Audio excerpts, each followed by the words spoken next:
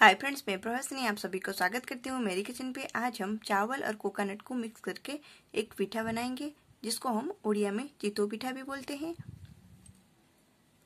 आज हम कोकोनट की स्टफिंग देकर चितो पीठा बनाएँगे। चितो पीठा बनाने के लिए मैंने यहाँ पर 400 ग्राम चावल को एक घंटे से पहले भिगो के रख दिया था। अब हम चावल को अच्छे से वाश कर लेंगे। चावल को अच्छे से वॉश करके ग्राइंडिंग जार में डाल देंगे।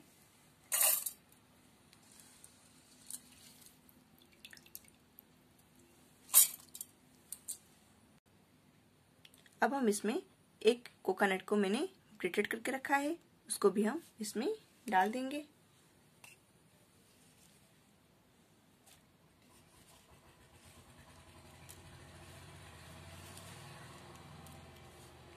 डाल के इसे हम अच्छी तरह से ग्राइंड कर लेंगे। और थोड़ा सा मैंने कोकोनट बचा के रखा है स्टफिंग बनाने के लिए। अब हम इसको अच्छी तरह से ग्राइंड कर लेंगे। कोकोनट और चावल को मैंने अच्छी तरह से ग्राइंड कर लिया है। अब हम इसमें डाल देंगे शुगर, तीन से चार बड़ी चम्मच शुगर डालेंगे। नमक। नमक डालकर इसे हम अच्छी तरह से मिला लेंगे।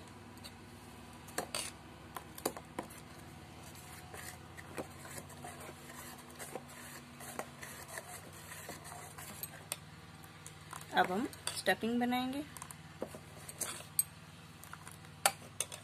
इसको साइड कर देंगे और अब हम स्टफिंग बनाएँगे। स्टफिंग बनाने के लिए पहले हम पैन बिठाकर उसमें हम एक चम्मच घी डालेंगे।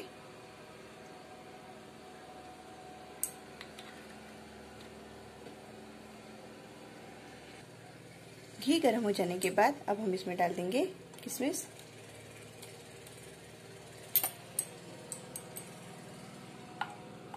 इसको हम थोड़ी देर के लिए इस तरह से भुनेंगे।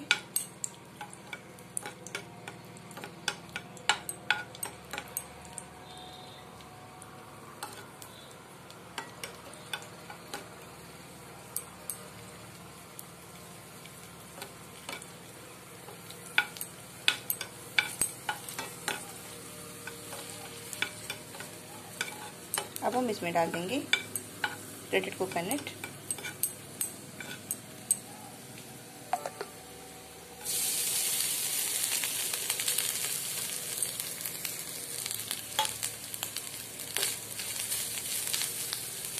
कोकोनट को डालने के बाद अब हम गैस के फ्लेम को पूरी तरह से लो कर देंगे और इसे हम लो फ्लेम में ही भुनेंगे। अब हम इसमें डाल देंगे गुड़।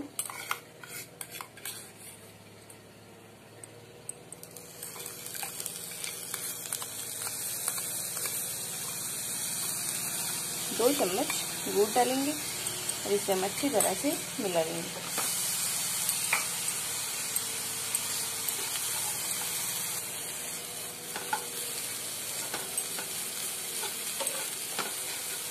इस तरह से अच्छे से मिला लेंगे। मैंने यहाँ पर गैस के फ्लेम को पूरी तरह से लो फ्लेम में रखा है।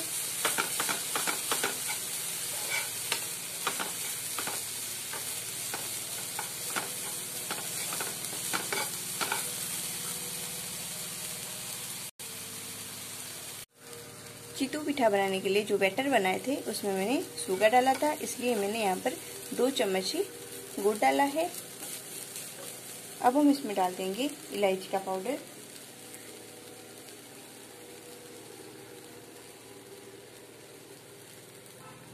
थोड़ी सी काली मिर्च डालकर इसे हम अच्छी तरह से मिला लेंगे।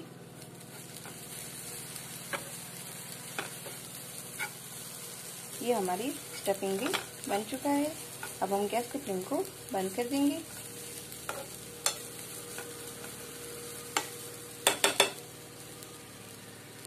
चीतो पीठा बनाने के लिए मैंने यहाँ पर पैन को गर्म होने के लिए रख दिया है। अब हम इसमें डाल देंगे थोड़ा सा ऑयल और इसे हम चारों तरफ़ फैला लेंगे।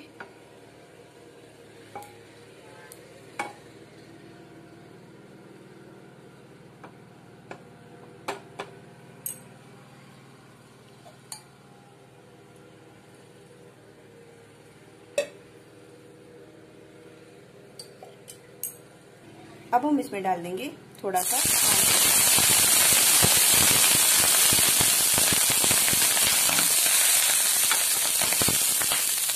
अभी हम इसको ऊपर चीतों पिठा की बैटर को डालेंगे।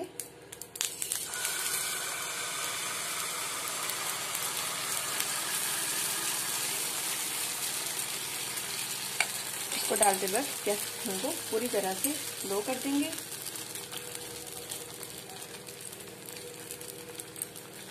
अब हम इसके ऊपर स्टफिंग डालेंगे।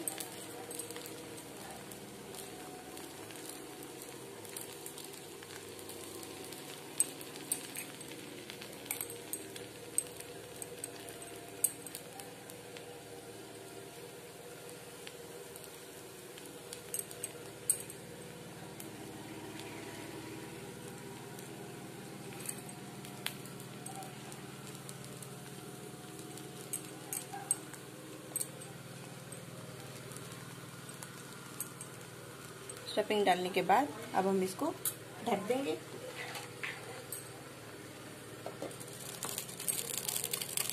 और इसे हम ढक कर एक मिनट के लिए पकाएँगे। अब हम ढक्कन खोलेंगे।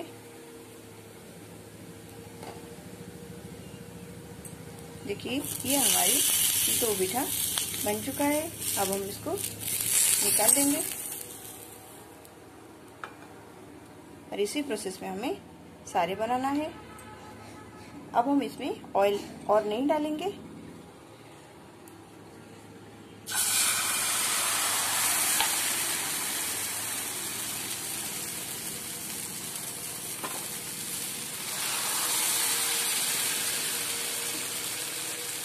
अब हम इसके ऊपर स्टफिंग डाल देंगे।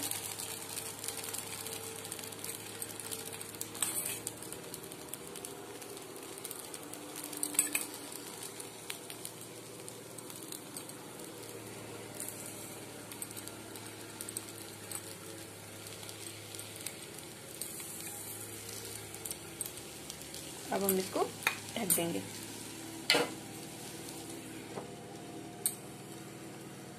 अब हम ढक्कन खोलेंगे।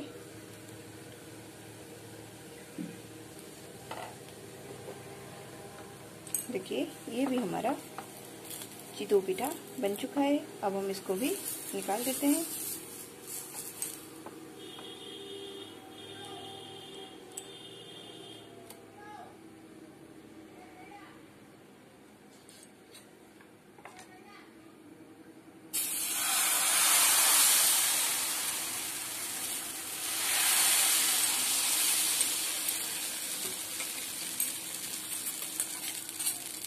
अब हम इसके ऊपर स्टफिंग डाल देंगे।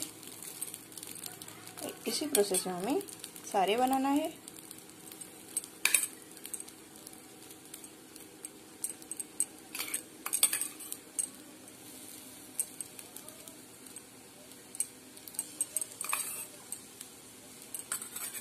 अब हम इसको ढक देते हैं।